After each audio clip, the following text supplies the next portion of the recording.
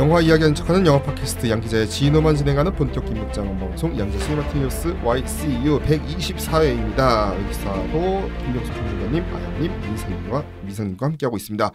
이번 시간에는 앞서 말씀드린 것처럼 제5회 아시아 콘텐츠 어워즈 앤 글로벌 어디 왜 이렇게 진짜 이 원래 이거 좀 짧았는데 왜 이렇게 길어졌어요? 엔드까지 붙이니까 여기서 6관왕을 차지했어요. 류승용 씨가 나무주연 배우상, 강풀 작 강풀 씨가 작가상, 그리고 이, 이정아 배우가 남자 신인상, 고윤정 씨가 여자 신인상, 그리고 베스트 크리에이티브 상까지 아 베스트 디지털 VFX 작품상까지 6관왕을 차지한 어 사실은 거의 진짜 올해 OTT 드라마 중에 어 한국 드라마 중에 OTT 한국 드라마 중에 거의 거의 좀 사실 최고라고 해도 딱히 뭐가 뭐 누가 없을 것 같은 그런 드라마예요. 무빙인데요.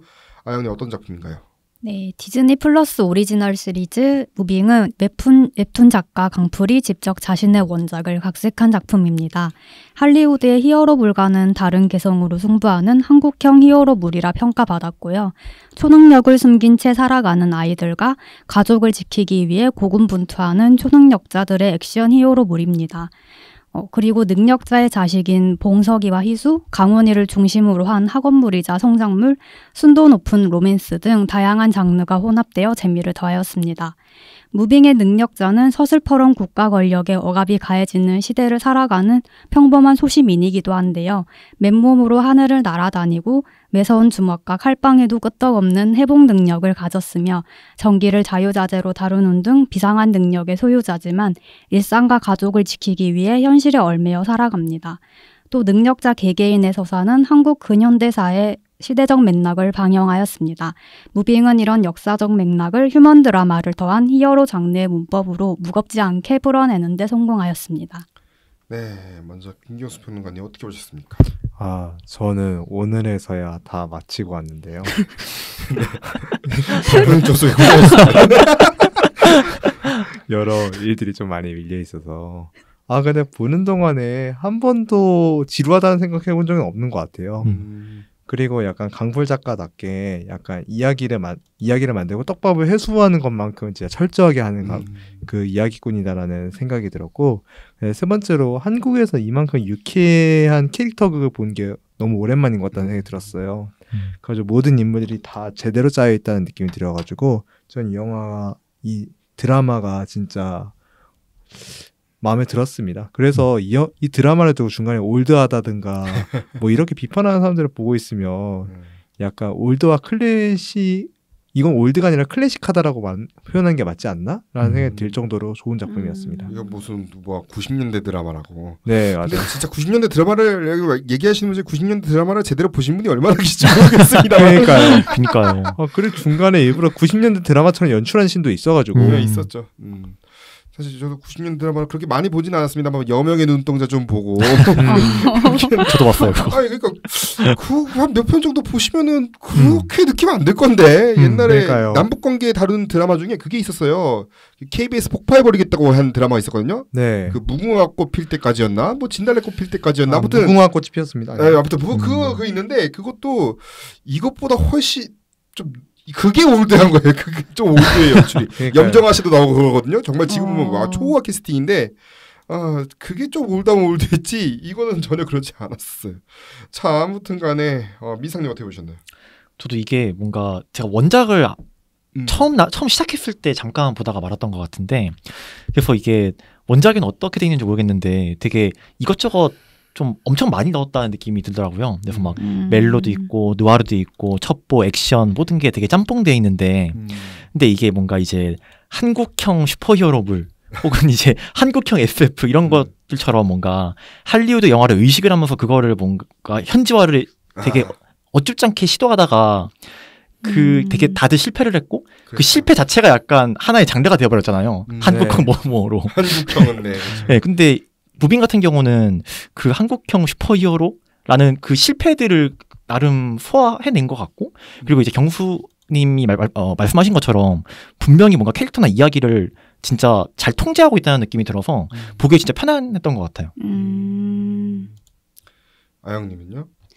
어, 저는 이 드라마를 두고 한국형 히어로물이라고 말하는 거에 공감을 하는 가장 큰 점이 어 일단 그 마블의 히어로처럼 얘네는 전지전능한 인물들 아니에요 능력자들이 그렇죠. 어느 정도 각자 한계를 지니고 있는 인물들이고 이 사람들은 평범한 인물이면서도 비범한 인물이기도 하고 또 약간 이제 영웅의 서사에 시대를 시대의 서사를 넣은 그런 작품은 처음인 것 같아서 음. 그런 점에서 되게 재밌게 봤던 것 같아요.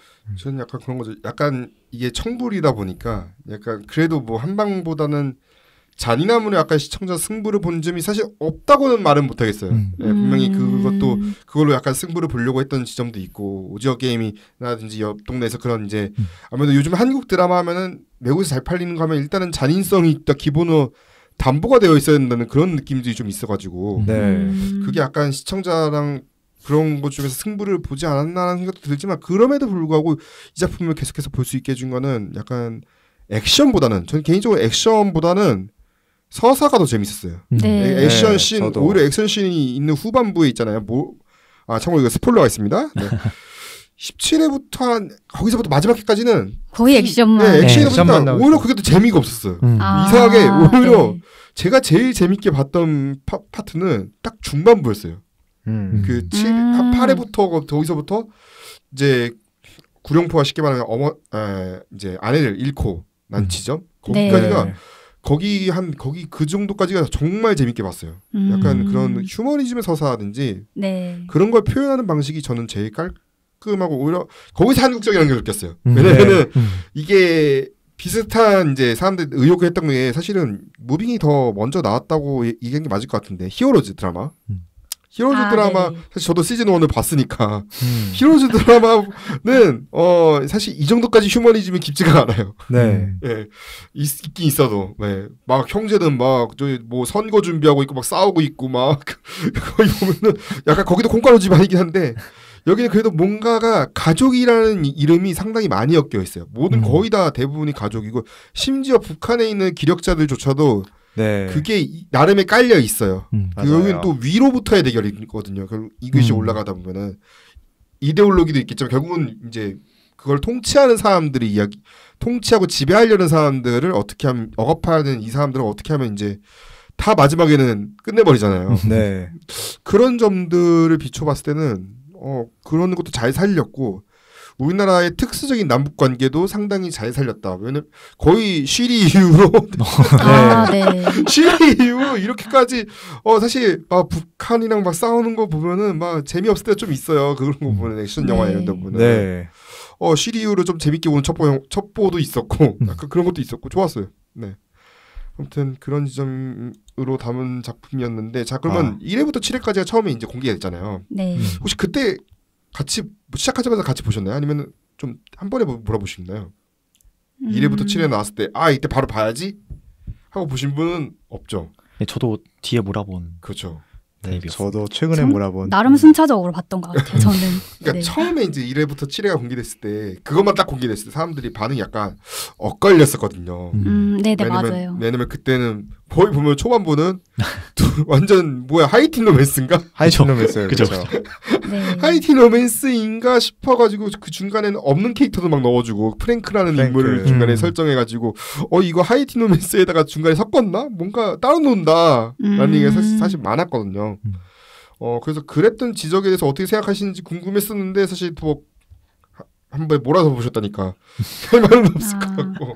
저는 약간 그 지적에 대해 동의를 하지 않는 게, 음. 어, 강풀이란 작가가 그 이야기를 이어나가는 방식이 약간 작품 전체의 기승전결을 두고 그 전체로 보고 승부하는 사람이거든요. 음. 그렇기 때문에 초반에 이 각 캐릭터의 서사를 공고히 해, 공고히 해두지 않았으면 후반부에 이 액션이 몰아쳤을 때 액션씬 안에서 의 휴머니즘이 사라져서 몰입감이 떨어졌을 것 같아가지고 음. 저는 오히려 초반에 캐릭터 빌드업을 되게 잘 해놨다고 생각을 해요.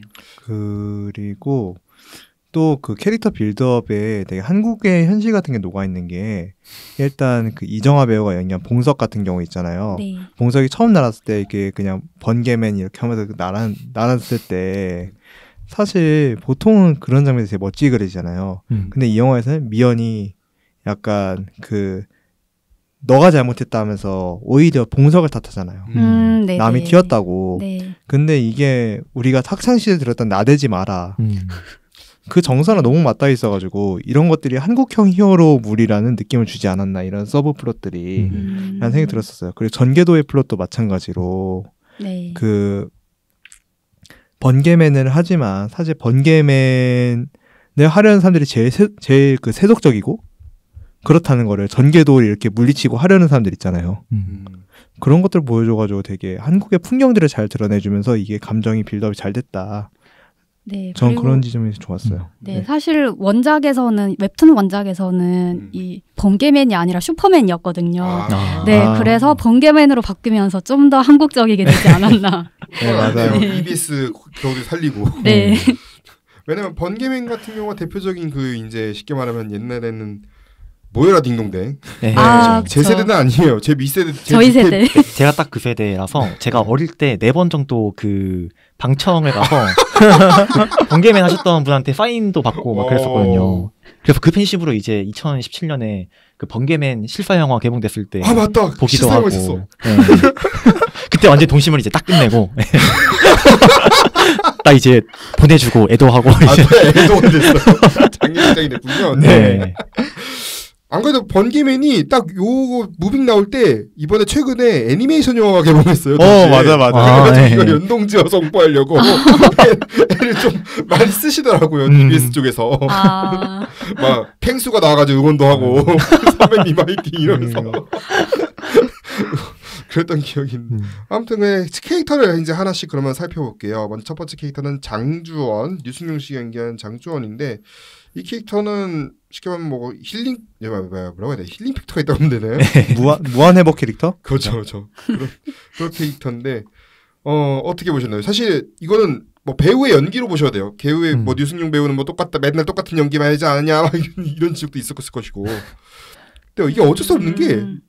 지금 최근에 치킨집 치킨집 주인을 해서 그래 이게 다. 음. 네 맞아요. 직업에서. 신선한 치킨 사장님으로 바뀌었죠. 네. 그 심지어 그 거기서도 그 한직업 에서도 되게 약간 칼 맞아도 멀쩡하고 좀 그런 네, 느낌이. 나왔어가지고 일부러 캐스팅했다는 느낌도 있어요. 네 맞아요 약간 음. 배우 개그처럼 아, 네네. 음 아무튼 뭐 이 캐릭터에 대해서 하실 말씀 있다면은. 사실 그 장주원 배우가 연기한 그 캐릭터가 음. 되게 약간 2000년대 초반에 유행한 그 피아노라든가 피아. 이런 그 감성의 음. 그런 그 캐릭터인데 좀 재밌었던 게 전 장주원 캐릭터가 이 영화의 핵심을 다 몰아놓은 캐릭터라고 생각을 해요. 음. 한국형 히어로물이라고 이렇게 표방을 하지만 사실 이면에는 무협과 같은 측면도 있다는 생각이 음. 들더라고요. 이 드라마가. 음. 왜냐면 무협이 그 싸울 무랑 그게 의협심의 그 협이잖아요. 아, 그래서 각자의 정신을 가지고 싸우기 때문에 그 정신의 대결이 곧 육체의 대결, 기술의 대결이 되는 건데 이 영화 딱 그런 구도를 취하고 있고 심지어 한 마디 더 하잖아요. 무협이 아니라 멜로에. 네 맞아요 그래가지고 이 두 개를 이으려는 그 주제식이 가장 잘 드러난 게 장주원의 에피소드라는 생각이 들었고 그다음에 장주원의 에피소드가 1990년대 부산을 배경으로 하잖아요. 네. 사실 그 한국에서 이야기꾼을 표방하는 소설가들이 몇몇 있어요. 그게 그 최근에 그 감독으로도 입봉한 아. 그 천명관 감독님이 네. 그 이것이 남자의 세상이다라는 소설을 써, 써놨는데 이것도 1990년대 부산을 배경으로 했고 음. 그 다음에 그거 각본을 쓴 김원수 소설가라는 분이 있어요. 음. 그분도 뜨거운 피라든가 뜨거운 이런 피. 이런 작품들로 약간 1990년대 바닷가 그 부산을 통해 가지고 남자들이 이렇게 구라를 치고 거기 안에서 어떻게 이야기들이 오가는지를 다루는 그런 소설들이 있었는데 이 감, 강풀 감독이 자기가 제일 강조한 이야기꾼이더라고요. 그래서 음. 이런 이야기꾼이라는 걸 드러내기 위해서 1990년대 부산에 약간 사나이들 이런 키워드를 동원해서 자기 얼마나 이야기를 잘한다. 음.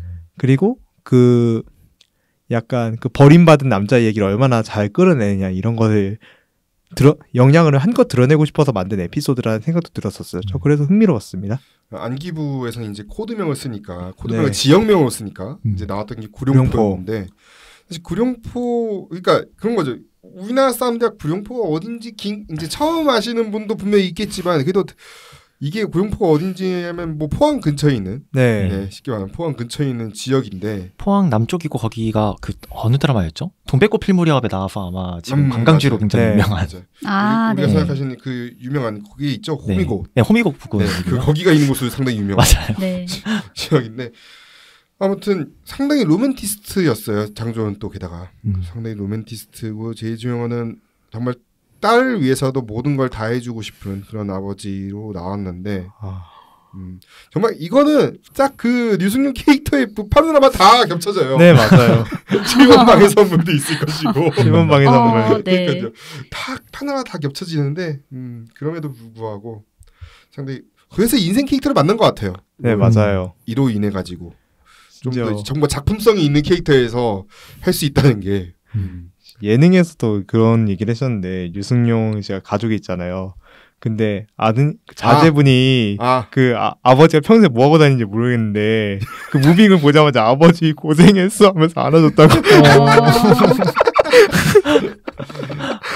네. 그리고 다음 캐릭터는 이미연 한유주 음. 씨가 연기한 이미연인데 이 캐릭터는 뭐라고 할까요? 그냥 인지가 인지 능력이 빠른 거죠. 네, 뭔가 시각, 청각, 미각 네. 등 모든 네네네. 감각이 남들보다 네. 뛰어난 그런 능력을 갖고 있는데 어 여기도 사실은 뭐 똑같아요. 여기도 뭐 모성애가 있고 네 엄청난 모성애가 있고 플러스로 더하면은 초반에 이제 갈등을 하죠. 안기부 최연소 엘리트 요원으로서 평가를 받는데 그러다 보니까 이제 그게 갈등이 있었죠. 무고한 사람들을 살리고 싶은 그런 갈등 중간에 작전을 시- 수행하는 데 있어가지고 음. 아, 숨- 몰래 숨겨두려고 했, 그러니까 숨겨둬 숨겨져 있는 거를 이제 눈 쉽게 말하면 안 쏜 거죠. 네, 네. 눈- 알고 알고는 있었지만 그런 장면도 있고 아니면은 또어 두시 접근해서 감시하라는 명령을 받았지만 이제 또 사랑에 빠지고 음. 네, 그런 음. 에피소드가 있는데 자 근데 여기서 논란이 됐던 거는 한효주 씨가 그러면 애 엄마를 연기할 수 있느냐 아 한- 아. 엄청난 논, 엄청난 이슈였거든요. 그 그 한 아니 드라 보신 내내 그 얘기하는 거야. 나한테 분장이 어쩐데 저쩐데 뭐. 음. 아이. 그래서 어떻게 보셨나요 한유주 캐릭터를? 아, 심지어 약간 그러니까 애 어머니는 연기를 할- 그 한효주 배우가 감독님인가 강풀 작가님에게 직접 얘기를 했다고 하더라고요. 내가 애 어머니는 연기할 수 있는데 고등학생의 어머니는 좀 부담스럽다 아, 이렇게 말씀을 하셨는데 아 그게 확실히 2000년대 초반이랑 지금에 살짝 달라. 네. 음. 그래서 어 약간 진짜 대단하다고 좀 다시 보게 된 되었던 게 일단 여배우로서 아름다움을 많이 포기하신 것 같아요. 음. 분장으로서 많이 네. 포기를 했죠. 네네 그런 부분이랑 안경도 끼고 나오시고 음. 그런 점에서 되게 한효주 배우의 다른 면을 많이 볼 수 있었던 것 같아요. 그러니까 해적 도깨비 깃발만 해도 그렇게까지는 포기를 안 했거든요. 네. 네. 해적 도깨비 깃발은 상당히 멋지게 나와요. 이러고 보면은 멋지게 나오려고 노력하고 있고 그리고 트레드 스톤 같은 원래 여기가 여기 이 작품이 좀 이제 컸을 것 같아요. 이런 첩보 작품에도 출연할 수 있었, 있었 다. 음. 이런 게 또 액션도 가능하고 아 네네. 맞아요. 이런 이미지가 있었기 때문에 출연을 했던 것 같은데 또 어떻게 보셨나요? 어, 음, 저는 일단 아까 얘기했다시피 약간 그 봉석을 가두는 역할을 하면서도 음. 봉식을 위하는 거잖아요. 이런 면들이 너무 현실적이었고 사실 저 한효주 배우의 연기를 본 것 중에 제일 좋았던 것 같아요. 저도 저- 네. 음. 이게 한효주 배우의 인생작 아닐까라는 생각이 들었습니다. 다들 인생 하나씩 여기서 여기서 찾아가네요. 뭐 뷰티 사이드도 있고 여러 가지 엄청 많은데 뭐 음. 일단은 음. 이쪽으로. 저도 이제 한효주 배우가 뭔가 단점이라고 한다면 음. 어떤 영화에서 그 흐름이 있을 때 어떤 하나의 톤만 계속 유지하다가 뭔가 이제 영화가 좀 튀어 튀어 나가야 할 때 약간 좀 같이 튀어 나가지 못하는 좀 그런 음. 면이 있었다고 좀 느꼈었거든요. 근데 이번에는 약간 후반부에서 되게 막 자식을 지키면 누구나 음. 괴물이 될 수 있어라고 아. 하면서 이제 진짜로 괴물이 되잖아요. 네. 그래서 그거를 하는 걸 보면서 진짜 저도 한효주 배우님 인생작이라고 생각을 했습니다. 음. 자, 다음 넘어가면은 이제 김두식 캐릭터 조윤성 씨 아. 연기한 김두식 캐릭터인데 어 아니, 벌써부터 웃으시. 그래서 뭐 어떻게 보셨습니까? 뭐 이거 하늘 날 수 있는 능력이 있습니다. 아무튼간에 비행 능력이 있는데 근데 비행 능력이 있다 보니까 진짜 우리나라 그 과거에 있었던 86년 그때 80년대에 나, 나왔었던 칼기 아마 폭파 아 사건이었을 네네. 거예요. 거예요. 네. 그걸 이제 모티브로 한 장면도 등장하는데 항상 뭐 영화의 굵직 역사의 굵직굵직한 장면이 항상 나오는 맞아요. 히트였어요. 음, 어떻게 보셨나요? 뭐 이런 아니 뭐요? 아, 저는 약간 그 조인성 배우의 액션이 되게 잘 찍었다고 생각을 하는 게 음. 일단 와이 액션이다 보니까 되게 그 각 캐릭터마다 액션이 되게 다르잖아요. 그렇죠, 그렇죠. 근데 조인성 배우는 되게 날렵하고 가벼운 액션을 잘 보여줬던 것 같아요. 음. 연기는 사실 뭐 모르겠. 최근에 하필이면 또 같은 시기 밀수가 밀수, 나와버려요. 네. 그렇죠. 아, 사실 밀수 보다가 이거 보니까 살짝 떨어 밀수가 훨씬 더 연기로서는 더 음. 나왔던 것 네. 같아요. 캐릭터 수가 맞아요. 캐릭터가 음. 훨씬 더 나왔던 것 같기도 하고. 밀수에선 그냥 조인성으로 나오잖아요. 밀수에서는 이건 네. 조인성이다. 네, 너무 조인성으로 나와서. 사실 김두식도 조인성스러움이 좀 많이 있어요. 선할 것 같고 잘생겼고. 음. 그리고 이제 지금은 이제 스- 새롭게 나온 이제 오리지널 캐릭터잖아요. 전계도 차태현 아, 씨 네. 연기한 전계도 이 버스 기사인데, 그러니까 이게 이제 초반부에 많이 또 호불호가 갈렸던 이유 네. 원작 팬분들 네. 특히 그랬던 것 같아요. 음. 원작을 보신 입장에서는 어떠세요? 어, 캐릭터에 대해서는. 저는 그러니까 정계도라는 인물에 대해서 호불호가 되게 많더라고요. 음. 프랭크에 대해서는 오히려 다 다들 이 긴장감을 주니까 음. 다들 좋다는 의견이신데 정계도는 차태현 배우가 좀 연기가 따로 놀았다라는 지적도 좀 있었고, 음. 근데 저는 정계도 캐릭터를 좀 옹호하는 게. 일단 사실 슈퍼맨에서 번개맨으로 바뀌었다는 건 엄청난 변화예요. 엄청난 변화여서 어, 그 점에서 괜찮았고 그리고 사실 좀 약간 모자란 서사들 음. 학교에서만 풀어내기에 모자란 서사들을 그 정계도 캐릭터가 많이 보충을 해준 것 같아요. 그리고 음. 프랭크가 약간 그 앞쪽 초반부 서사에 긴장감을 불어넣어주는 역할을 했다면 음. 어, 초반부에 정계도 캐릭터는 약간 휴머니즘을 더해주지 않았나 음. 그런 지점에서는 괜찮았던 것 같아요. 그리고 저 전개도 캐릭터가 없었더라면 그 최일안의 서사가 좀 비어 있을 것 같다는 생각이 들어요. 아, 네네. 봉평. 음. 네. 아, 아, 그 뭐지 그 선생님이 한번 아, 네. 그전 계속 찾아내는 역할 하잖아요. 네. 자기는 블랙 초능력이 없어서 블랙이 되지 못하니까 선생님으로도 블랙이 되어가지고 음. 초능력 이거 NTPT를 기르려고 음. 계속 하는데 그 전개도 같은 경우 유일하게 안 들킨 사람이잖아요. 음.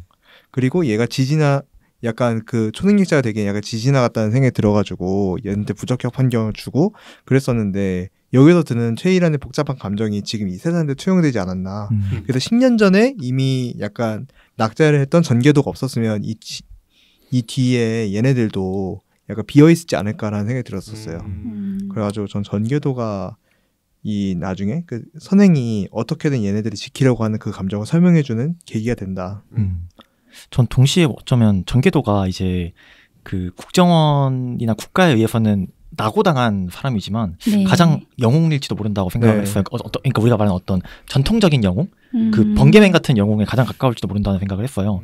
사실 다른 인물들은 되게 멋지게 그려지고 낭만적으로 그려져도 결국 뭔가 딸이나 아들을 지키기 위해서 싸운다던가 사랑하는 사람을 지키기 위해서 싸운다던가 맞아요. 이런 식인데 이 사람은 버스 기사라서 그냥 이제 그 맨날 버스 운전하면서 그 봉석이랑 이제 희수가 버스 타고 가는 그 같이 같이 타고 가는 거 보면서 네. 좀 귀엽네 이렇게 하다가 진짜 그냥 스쳐 지나가는 사람들을 돕기 위해서 그 마지막에 음. 싸우잖아요. 네. 이런 면에서 어- 이 어떤 번개맨이라는 어떤 이런 키치한 영웅의 역할로 시작을 했지만 나중에 가면은 사실상 이 드라마에서 거의 유일하게 우리가 음. 진짜 영웅에게 기대하는 것을 하고 있는 인물이 아닌가라는 음. 생각도 해봤습니다. 사실은 이제 자기가 이제 쓸모 없는 과거 이제부터 돌아가면은 막 자기가 음. 쓸모 있는 인간인가라는 그런 고민이 갖게 되잖아요. 네, 맞아요. 그러다 맞아요. 보니까 거기서 뭐 취업도 어쩔 수 없이 이제 할뭐 곳곳에서 실패하는 음. 그러다 보니까 근데 그러다가 이제 배터리가 방전된 버스를 고쳐져 가지고 오히려 그게 네. 자기가 아. 쓸모를 어쩌면 새로운 곳을 찾게 된 거잖아요. 네. 그런 것도 옆에 또 이 시내버스 하는 게 거의 정해진 라인만 도는 거니까 음. 네. 정해진 길만 계속 가는 거니까 평범한 일상만 계속 반복될 수 있는 어쩌면 가장 뭐랄까 이것도 사실은 쓸모 그러니까 이 캐릭터한테 쓸모라고 얘기하면은 뭔가 좀 그렇긴 한데 음. 뭔가 쓸모 있는 용도에서 사용 그러니까 사람이 사람이 어떻게 보면 사회 구성원으로서 네. 쓸모 있는 인간이 무엇인가 그렇게 해서 해석해서 새로운 캐릭터를 넣, 었나 싶은데 사실 저는 안타까운 게 마지막 액션 장면일 때는 아, 네. 아. 액션 너무 아쉽더라고요 마지막에 그러니까요. 아니 거기 버스 버스 신나게 뚫고 와가지고 어, 저, 뚫고 왔는데 기껏 한다는 게 저게 에너지 다인가? 파. 네. 그거는 확실히 연출이 좀 아쉽더라고요. 네. 네. 지금까지 싸운 서사와 비교해서 그건 좀 아쉬웠고 음. 두 번째로 아 그래도 아 10대 연기는 좀 네. 젊은 배우한테 줘야 되지 않았을까. 그러니까요. 아, 네네. 이건 좀 너무 만 일곱 살인 분한테 교복 입고 그렇게 아니 그 주변에도 좀 이게 나이가 있으면 몰라. 거의 혼자 와 거의 쉽게 말하면 옛날 그 뭐야? 90년대 그 유명한 영화 있잖아요. 피광통키. 아, 음. 혼자만 거의 10대 10대 아이라고 하기에는 너무 차이가 나니까. 주변이 죄, 죄다 10대 배우 10대 재연 이제 또 단역 배우들이니까 아니 많이 차이- 뻔뻔하게 옛날에 그 장동건이랑 그 나왔던 드라마 뭐였죠? 네. 신사의, 신사의 품격? 네, 신사의 신사의 품격. 품격처럼 뻔뻔하기라도 하던가. 근데 여긴 약간 어줍지 않게 그러니까 티가 좀 되게 많이 나니까 네. 자, 좌우 네, 좌우로 맞아요. 이제 너무 너무 또 그러니까 어린 분들이 같이 있으니까 아. 이게 언밸런스 해가지고 와 많이 힘들었던 그리고 차태현의 연기 톤이 음. 약간 많이 튀었어요. 다른 음. 배우들은 되게 약간 2020년대 연기를 보는 것 같은데 차태현 씨 혼자 약간 2010년대, 2000년대? 아 약간 아직도 그러면은 저기 누뭔 뭔 영화야 복면다로 시절이군요 복면다로 느낌이 있어가지고 아, 그래요. 자 그러면 프랭크 류승범 씨 아, 이- 음. 사실 어 이 캐릭터는 어 정말 아, 류승범 씨는 간만에 저 원포인트 레슨 저 하고, 자기 하고 싶은 거 딱 하고 갔어요. 음. 그러니까요. 보면. 아, 네. 뭐랄까요 정말 카리스마 음. 카리스마도 있었고 뭔가 좀 뭔가 이 한국어 서투른 한국어 연기하느라고 좀 많이 했을 것 같은데. 근데 그. 대본 잘 보면 살짝 좀 이게 이게 한국어를 아는 건지 모르는 건지 조금 약간 좀 애매할 때가 있는데 또 되게 뻔뻔하게 연기를 잘 하셔가지고 네. 그러니까요. 네. 왕 돈가스가 뭐 이러면서 막 되게 네, 뻔뻔하게 잘 하- 하시더라고요. 그래서 인터뷰 네. 보니까 이제 어떤 방식으로 말을 해야 할지 사실 자기도 외국에 잘하는 경험이 있으니까 음. 고민을 해봤는데 어쩌면 말을 하는 방법을 잃어버릴 수 있다는 생각이 들면서 그 음. 대사를 할 때 표현 방법보다 침묵을 할 때 표현 모습을 좀 더 고민을 많이 했다고 하더라고요. 음. 어. 그런 부분이 있었고 그래서 카포에라 액션 장면이 정말 신나게 찍어서 맨날 카포에라에 관심이 있어가지고 기초 동작을 몇년 전에 배워뒀었대요. 아, 어. 그거를 이제 써먹을 기회가 와가지고 정말 좋았다고 하더라고요. 특히 이제 차태현 선배와는 정말 처음 연기를 해봤는데 밤새 가면서 차 추격선 추격 장면을 차 밤새면서 찍어가지고 음. 즐거웠고 역시 어 거기 류승용 씨와의 대결도 그 정말 아, 그 대결도 음. 좁은 차 안에서 밤에 이루어져 가지고 음. 정말 어려움이 많았다고 하더라고요. 네. 그러니까요. 아무튼간에 넘어가서 자 그 외에 혹시 이제 시간이 그렇게 많지 않기 때문에 혹시 이제 인상적인 배우나 인상적인 이제 캐릭터로 한번 넘어가 볼게요. 어 이재만 캐릭터 역시 노동자는 세다. 역시 어 간만에 그거 보 어우 음. 그차 뭐야 고가도로 네. 오랜만에 네. 보니까 좋더라고요. 그러니까요. 어 디자인 야 그거 언제 제 옛날 정말 제 세대거든요. 그거를 아시 음. 이제 거의 이제 거기 청계천이 있다는 거를 알지 청계천 위에 고가도로가 있는지 뭐, 상 이제 기억도 못 하시는 분 기억 아 그게 있는지도 모를 거예요. 어떤 그죠. 분들은 네. 역사책에서 배, 배운 네. 역사책 역사책에 대면 네. 그 청계천 걷다 보면은 어디 하나 기둥 하나 있어요. 그 음. 전시해 놓은 비슷한 게 기둥 하나 세워 놓은 거 하나 있더라고요. 어. Y Y 모양의 그 기둥 하나 있어요. 걷다 보면. 아무튼간에 음. 그 다음에 저는 그 문성근 배우가 연기한 민용준 캐릭터. 아. 사실 민용준 캐릭터 자체는 그냥 너무 있을만한 관료라서 네. 그걸 그러려니 했는데 약간 문성근스러움이 있잖아요. 남자 연기를 정말 잘해요. 그러니까 뭐 말하듯이.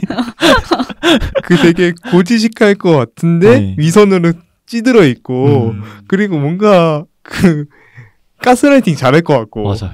그런 연기의 정점을 보여주지 않았나라는 음. 생각이 들어가지고 음. 특히 그 CIA랑 협상할 때아 약간 맞아요. 그 아. 옛날 야인 시대 김두한처럼 약간 네 맞아요. 4달러 한국어로 막 너 한국어 알잖아 이러면 뭐 이제 그러니까 거의 4달러잖아요. 그러니까요. 어 오랜만에 어 근데 어 이렇게 사실 비중 있는 역할로 이렇게 길게 나온 건 참 오랜만에 보는 것 같아가지고 좋았어요. 그러니까 음. 민성근 배우. 음. 또 있다면은 뭐 당연히 뭐 사실 많은 팬들의 이제 시선은 결국 고윤정 배우한테 많이 많이 갔어요. 남성 음. 팬들 음. 경우에는 진짜 진짜 많이 갔어요. 특히 저는 이제 느끼, 아 이게 사실 이 배우가 그때 작년에 저희가 얘기했던 헌트에 나온 그 배우가 와 맞나 싶을 정도 정말 달라진 모습 보여줬고 음, 그러니까요. 아, 그리고 또 이번에 새로 또 다른 작품 하나 캐스팅됐다고 하는데 거기는 의대 의대생이라고 했는데 아 네. 이대생 맞아요. 거기는 의대생이라고 아, 아 네네. 슬슬땡 네. 소리. 세생. 선생님 네. 최대생이 아니라고 이제 어 그 상당히 액션 연기도 좋았어요 그 음. 17몇 네, 대일로 맞아요. 싸우는 17대 일. 17대일로 네. 싸우는 장면도 그 살기 있는 장면들 음. 어 그런 거 너무 좋았어요 그런 표현하는 게 그거에 대비돼서 이제 이 긴장감 넘치, 넘치는 드라마에 리승감을 주는 이제 그 봉석을 연기한 이정아 배우도 네. 네, 약간 뭔가 약간 살짝 날서 있는 고윤정 배우랑 다르게 되게 어 근데 네. 살을 그래서 찌웠죠 네, 거의 30kg 가까이 어, 쪘다고 하더라고요. 아. 네. 그래서 다들 놀라잖아요 이제 알고 있지만에서는 음. 그래서 누가 그 얘기하는데 이제 대학교 올라가면은 저기 저기 꼬신다고 아 알고 있지만이랑 연결해 가지고 개, 배우 개그죠 약간 그렇죠. 아, 그 어. 뭐였지? 좀 재밌었 좀 뭐였지?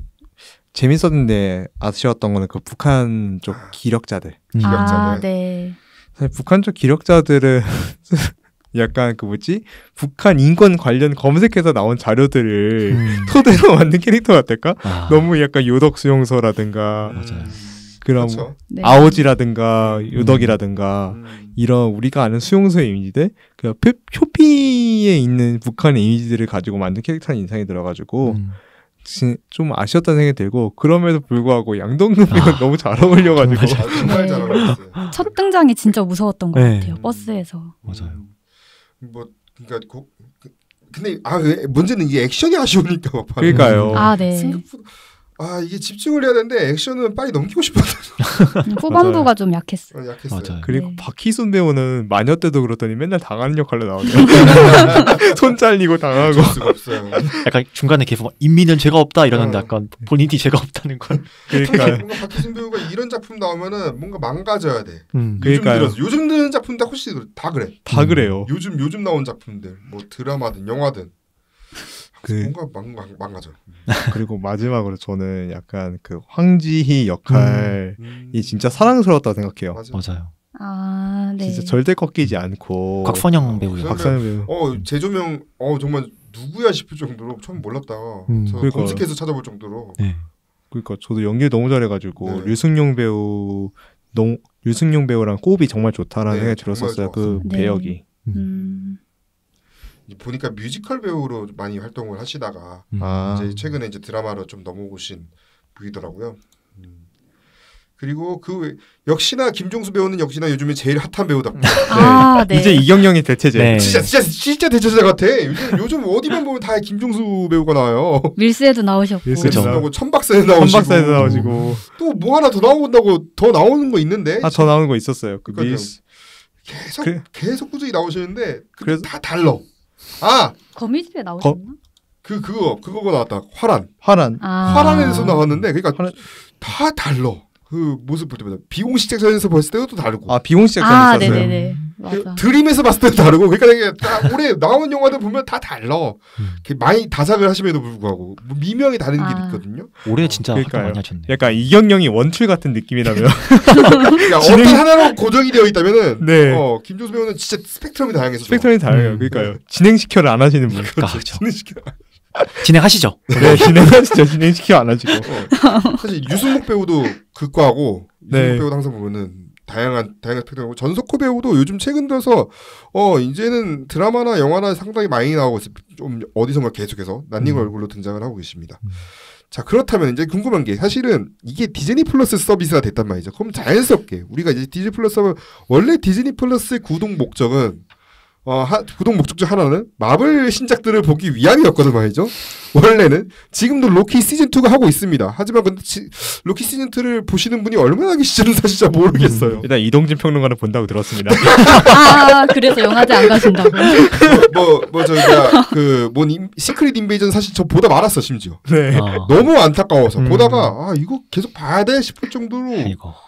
아 시크릿 인베이전은 너무 아쉬워 아쉬울 정도로 이 정말 좋은 사무엘 잭슨 데리고 이게 뭐 하는 짓인가 음. 용엄마 데리고 뭐 하는 짓인가 용엄마도 나왔잖아 이번에 네. 아, 이, 이게 뭐 한 심지어 올리비아 콜맨도 나와 뭐 뭐야 이 배우들 데리고 뭐 하는 짓인가 싶을 정도로 마지막 회가 로튼 토마토 6%였나요? 어. 정말 참혹할 정도로 안타까운 드라마가 돼버려가지고 음. 그렇다면 최근 디, 디즈니 최근의 마블 행보와 이 무빙에 이제 무- 차이가 있다면 뭘까요 결정적으로?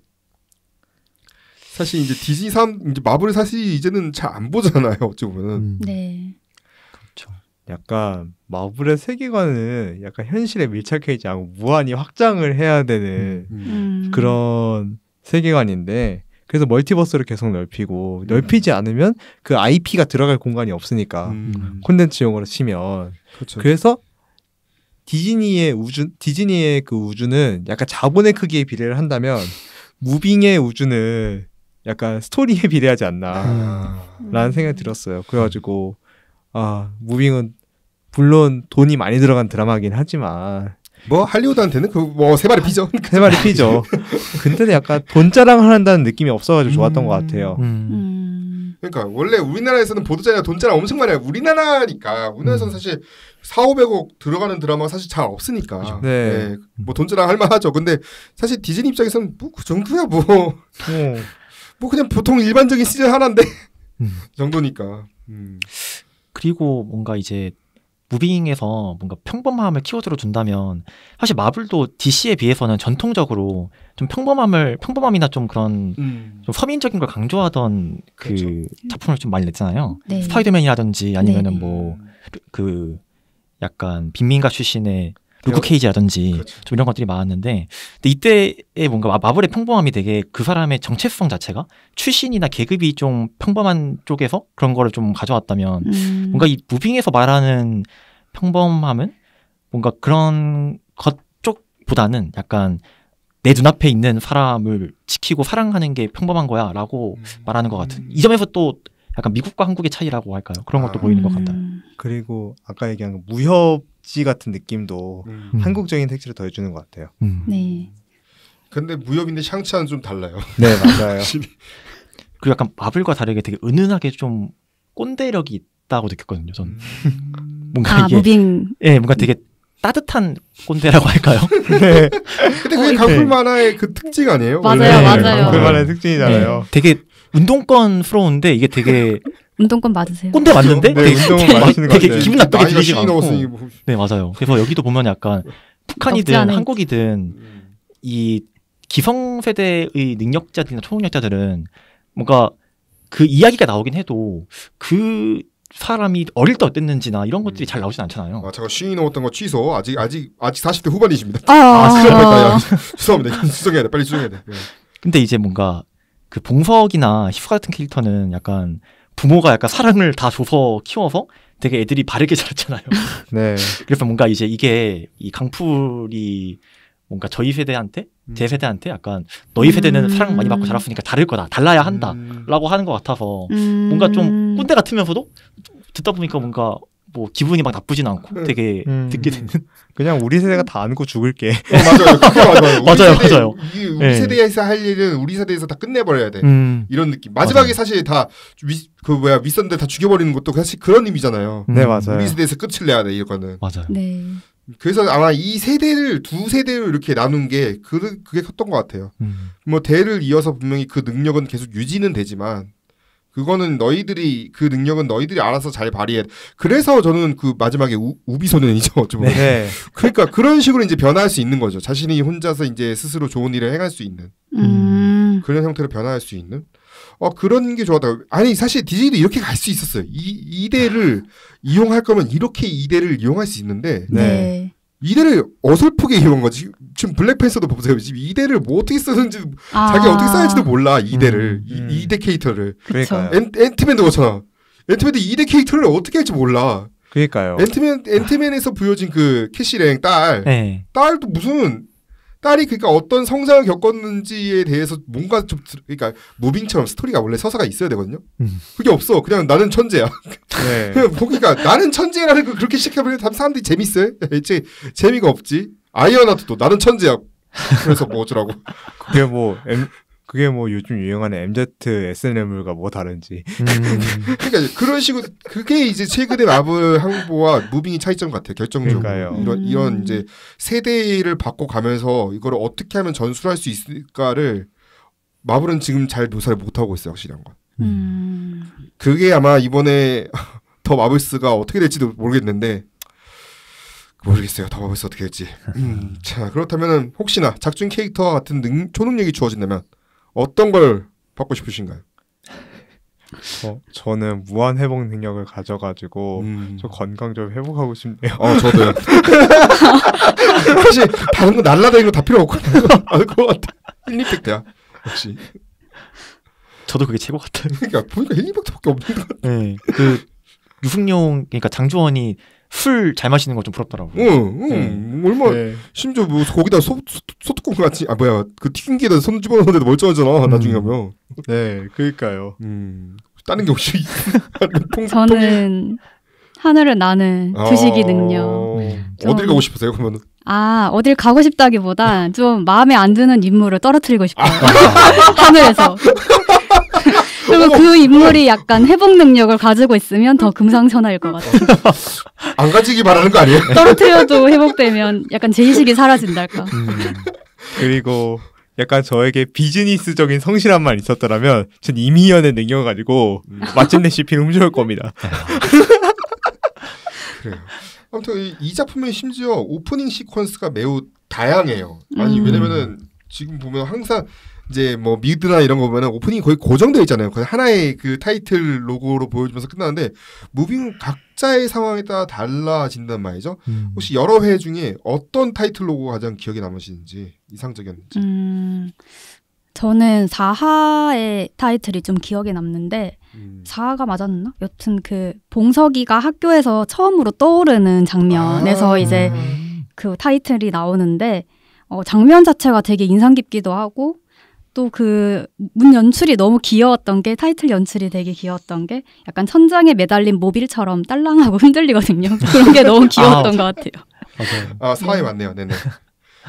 혹시 또 있다면은 뭐 저 먼저 얘기하면 사실 저는 이제 14회 이게 너무 슬픈 내용인데 여기 이제 어, 아, 비가 내리는 장면이잖아요. 비가 내리는 네. 장면으로 정말 그 아내를 음. 잃은 슬픔 이걸 로고에 담아낸 게 왜냐면 그 전까지만 막 색깔이 반짝반짝거리고 막 음, 흔들리고. 막 그런 음. 그런 건데 슬픈 감정에서 그거를 표현하는 게 너무 좋았어요. 음. 음, 네. 그런 것들이 좋았고 혹시나 또 다른 게 있다면은 아, 저 지금 화가 기억 안 나서 잠깐 보고 있어요. 아, 아, 예. 어떤 장, 장면만 생각하셔도 돼요.